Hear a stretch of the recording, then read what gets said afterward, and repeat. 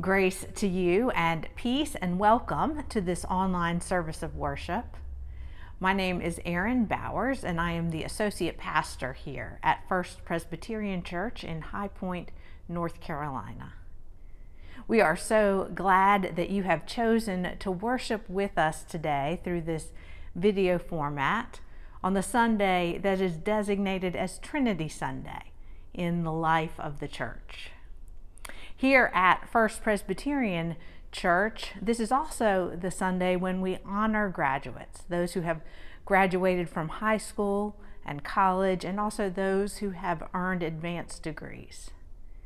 And so we begin our service today by recognizing them. Let us worship God.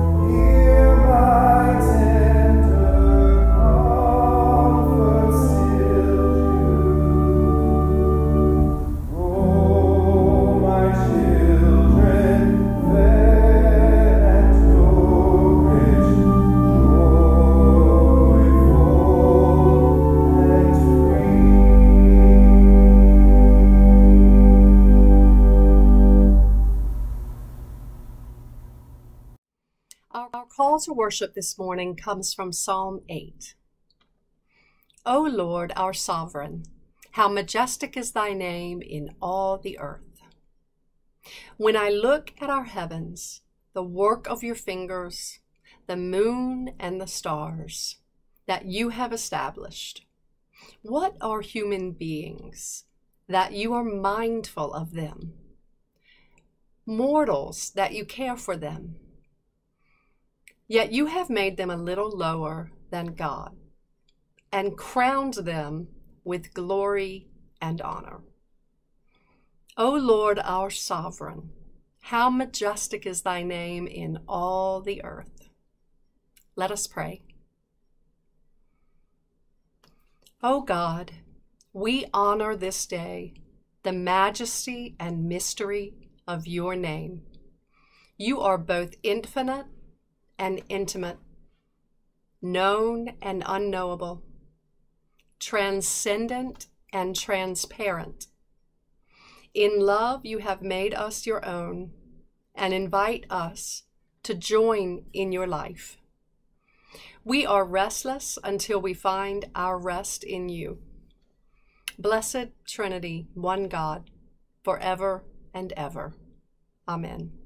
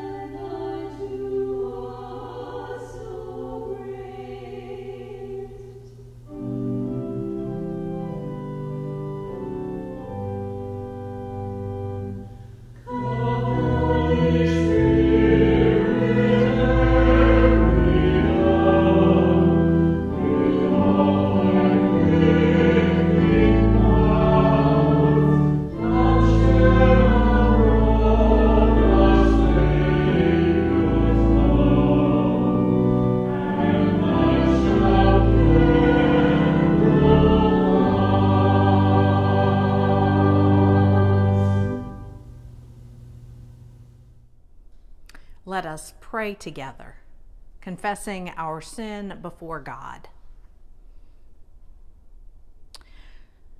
Where do we begin, Lord God?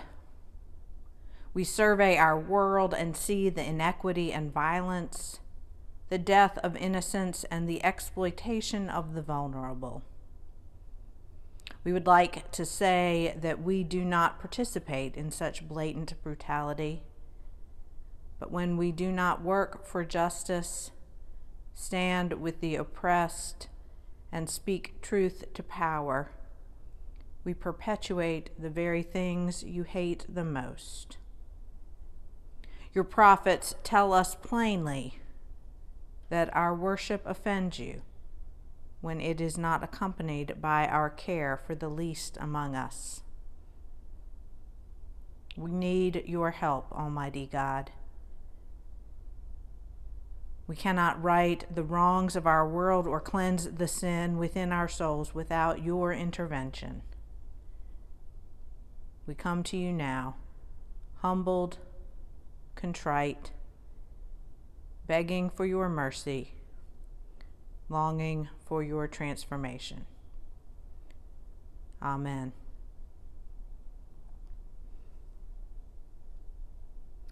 Hear the good news. The mercy of the Lord is from everlasting to everlasting. I declare to you then, in the name of Jesus Christ, your sin, my sin, all of our sin together is forgiven. May the God of mercy, who forgives us all our sins, strengthen us in all goodness, and by the power of the Holy Spirit, keep us in eternal life. Amen.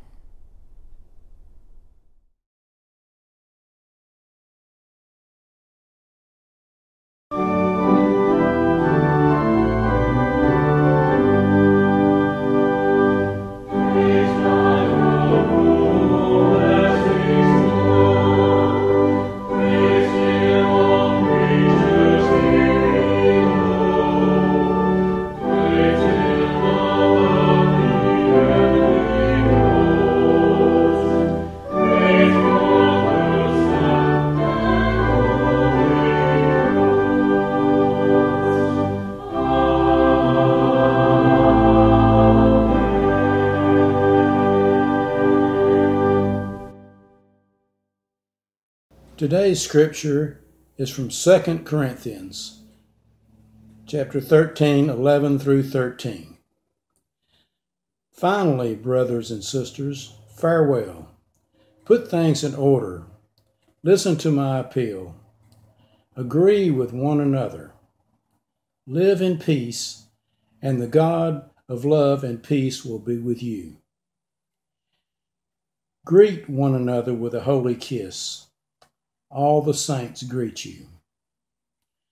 The grace of the Lord Jesus Christ, the love of God, and the communion of the Holy Spirit be with you all.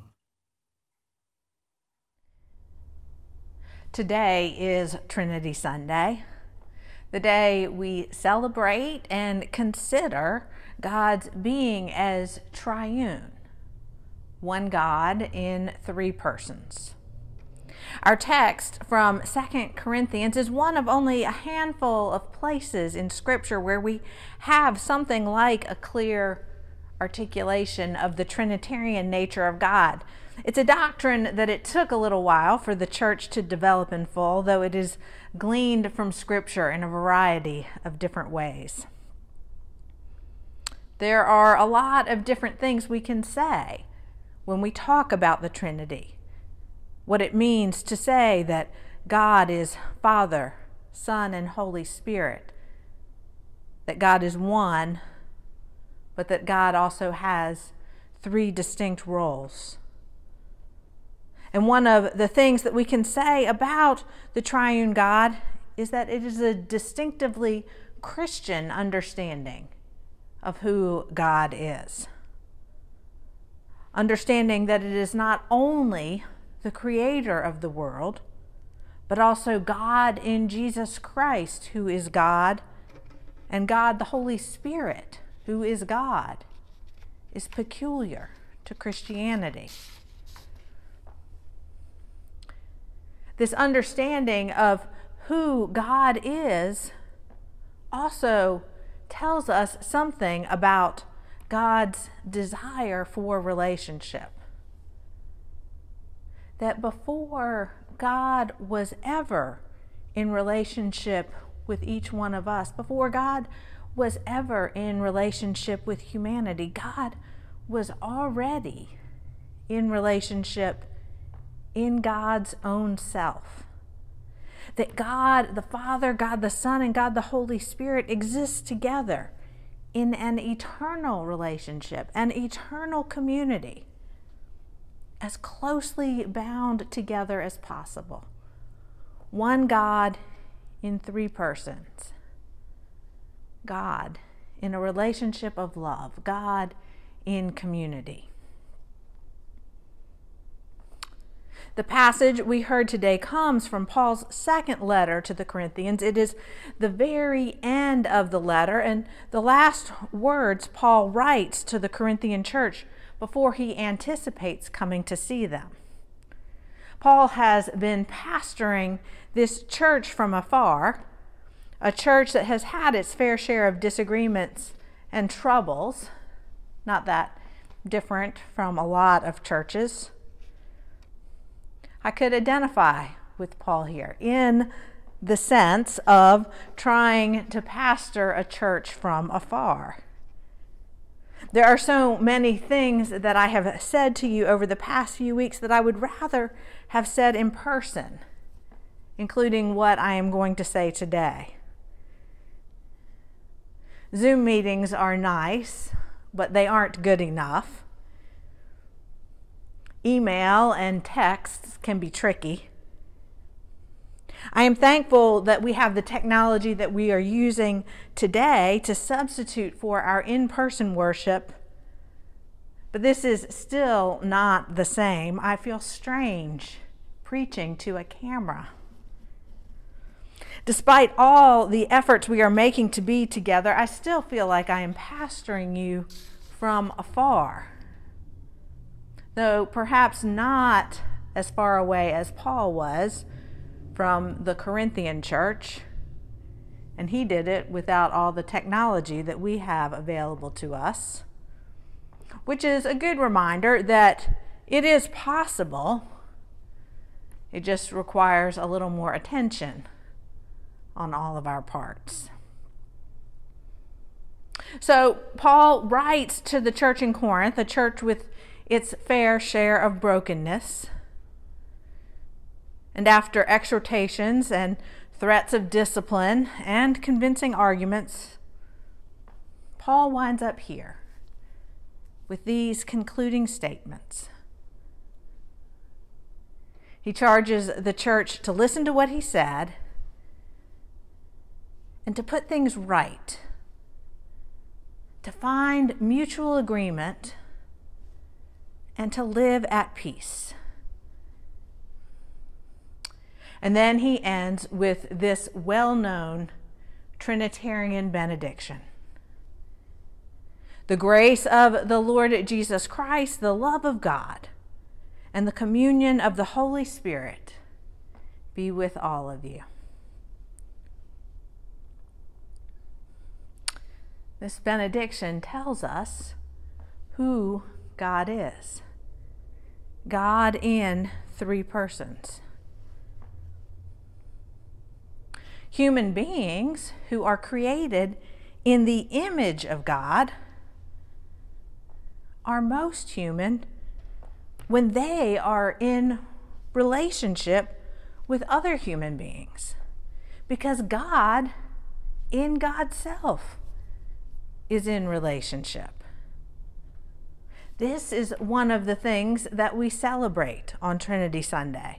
A God who is three in one is a God who exists in a relationship of love, even in God's self. And then that relationship of love pours out into all creation and specifically into God's relationship with humanity. God is God in relationship. To be created in the image of God means to be created as those who are designed to be in relationship. We are made to be in relationship to the God who loves us, and we are made to be in relationship to one another.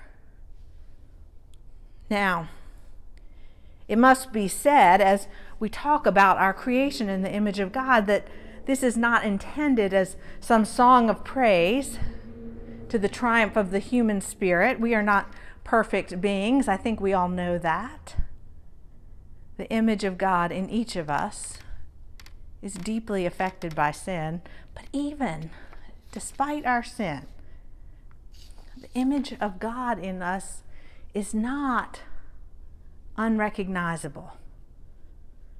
We can recognize the image of God in those around us so that we can live out the image of God in us, to be relational human beings relating to other human beings who also bear the image of God. We do that as we live together in community. We celebrate that unity like we did last week on Pentecost, the shared unity of the body of Christ. Easy enough.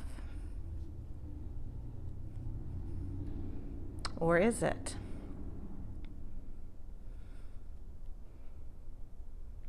It doesn't seem so easy right now.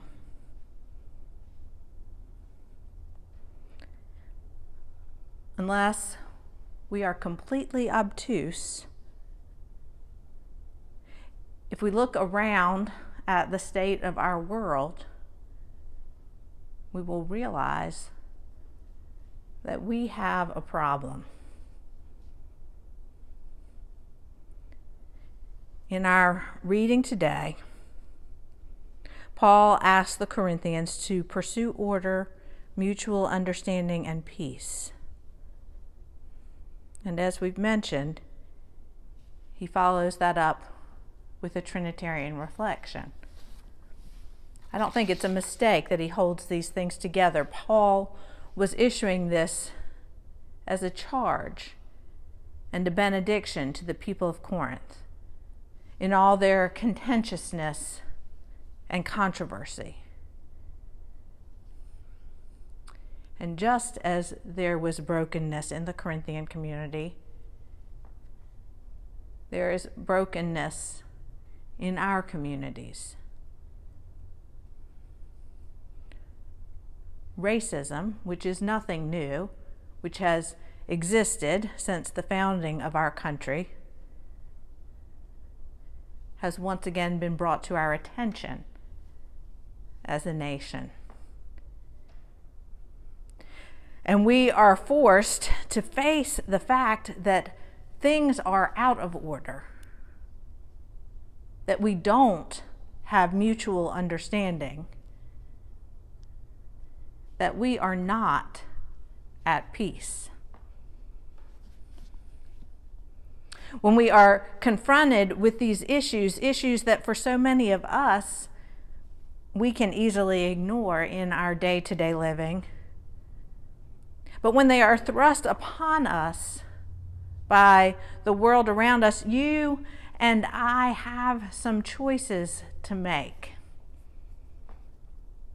And I am going to tell you today what I recommend.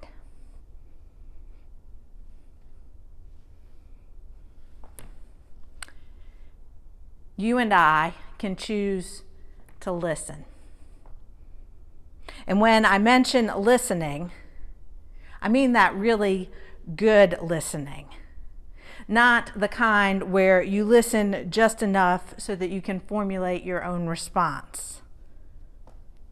Listening so that you hear what someone else is saying. Listening to the experiences of others. The kind of listening that increases understanding, that helps put things right, that leads to peace.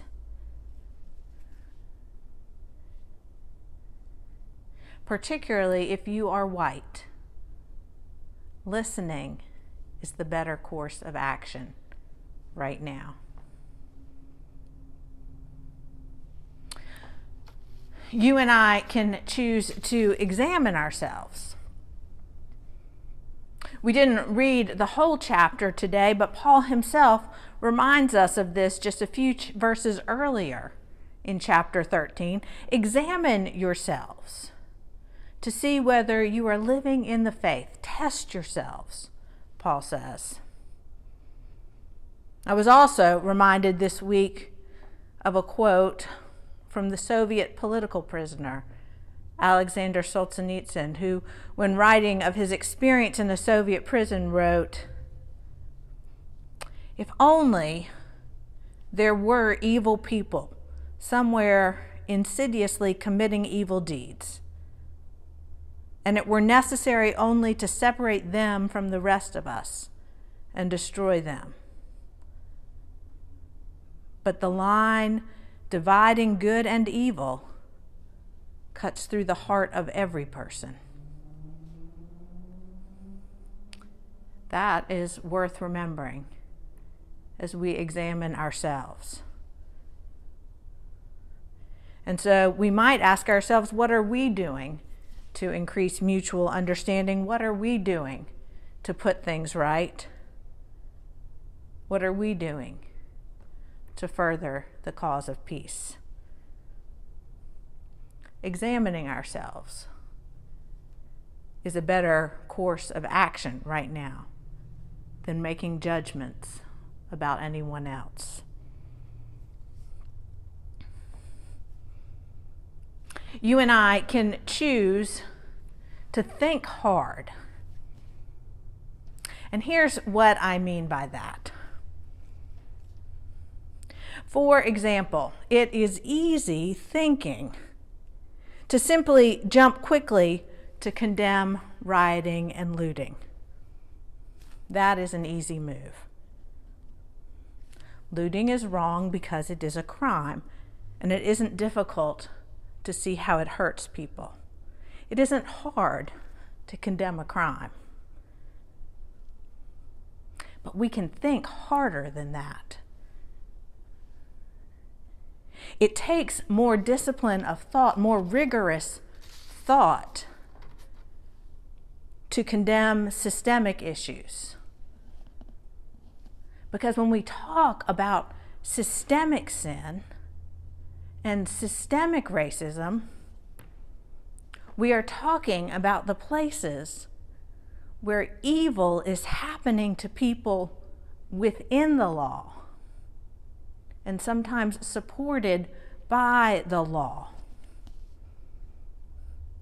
This is a lot harder to think about. Disciplining ourselves to think hard is a better course of action right now. You and I can choose just to try to do better. This is what I am thinking about every day right now. How can I do better? Doing better is always a better course of action than staying the same or, God forbid, doing worse. You and I can choose to be curious. If we don't understand something, we can try to learn about it. If we don't understand someone else's experience, we can wonder about it or read about it rather than try to critique it. Being curious is a better course of action right now than making judgments. Finally, you and I can choose to love.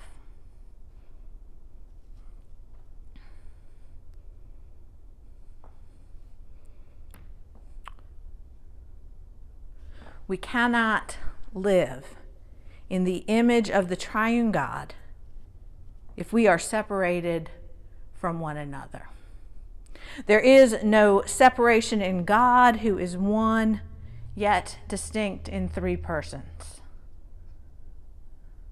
Likewise, it is not possible for one part of the body of Christ to be in pain and for the rest of the body to ignore it. This is true because we all belong to the same body. Even more so, it is true because we all belong to Christ. Of course, the image of God in us is marred by sin. But you and I aren't asked to value one another according to our sin. Thanks be to God. We value people because of the image of God in each one of us. When we are not in relationship with one another, we are not, not living out the image of God in us the way it was meant to be lived. The God who lives in relationship calls us to life in relationship. The good news, though, is that even if we are not getting this right, our relationship with God does not depend on it. God loves us anyway. God loves us no matter what. Just like God loves everyone who has been created in God's image. Every single one.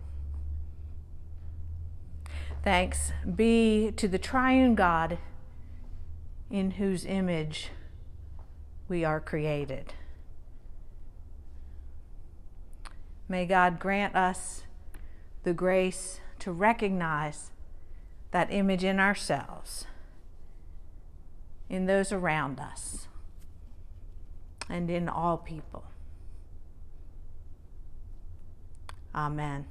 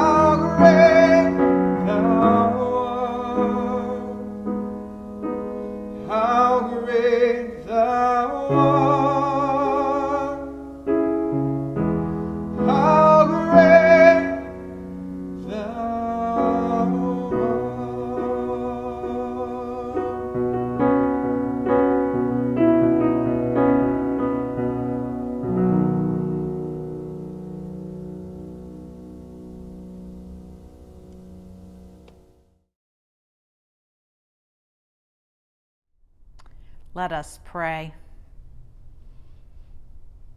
Creator God, you made all that is seen and unseen and called every last bit of it good. We look at the birds of the air and the beasts of the field and see your glorious work. We see the lilies of the field in their splendor and marvel at your gratuitous beauty. The diversity and intricacy of creation astounds and awes us. You made us stewards of your marvelous work, and yet far too often we have failed to treat the earth with care and reverence. Forgive us for using that which you gifted us to enjoy. As you make of us new creations, move us to see ourselves not as consumers of the world's resources, but as those who tend and nurture the earth's gifts. Lord Jesus Christ, you came not to condemn, but to save. You shone light in the darkness and flooded the cosmos with grace and truth. You fed the hungry, healed the sick, sought out the lost, and ate with sinners. No one was beyond your concern.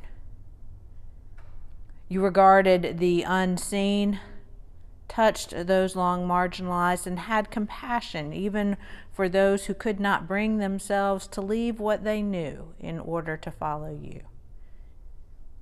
Your mercy stuns us.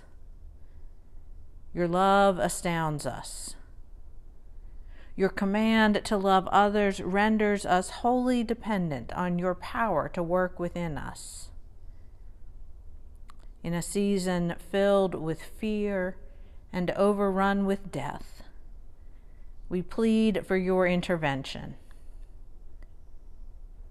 Grant us your peace that passes understanding, and then enable us to be the peacemakers we are to be in our families, communities, and country. As your body in this world, Help us to be ambassadors of reconciliation and stewards of your mysteries in the places most in need of your compassion and justice. Holy Spirit, when you possess us, we cannot help but be in relationship with the whole swath of humanity.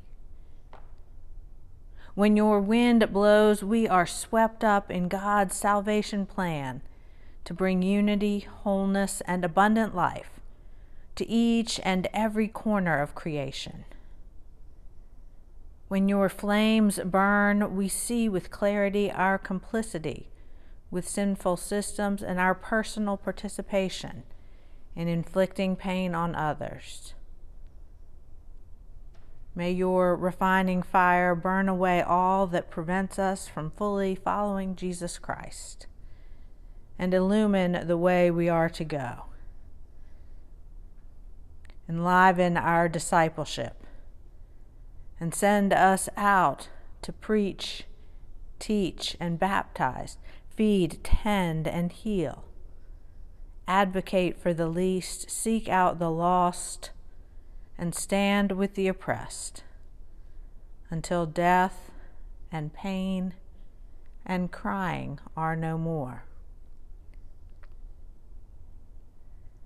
We make our prayer in the name of the triune God, the Father, and the Son, and the Holy Spirit and using the words our Savior taught us, saying, Our Father, who art in heaven, hallowed be thy name. Thy kingdom come, thy will be done on earth as it is in heaven. Give us this day our daily bread, and forgive us our debts, as we forgive our debtors and lead us not into temptation, but deliver us from evil. For thine is the kingdom, and the power, and the glory, forever. Amen.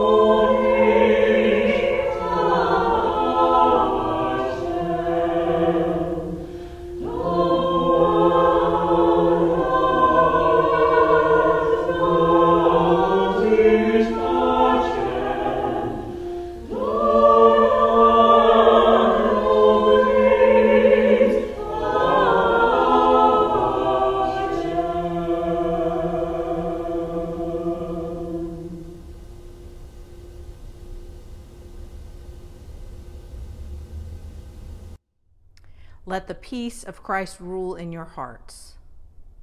Let the word of Christ dwell in you richly. And whatever you do, in word or in deed, do everything in the name of our Lord Jesus Christ, giving thanks to God the Father through him.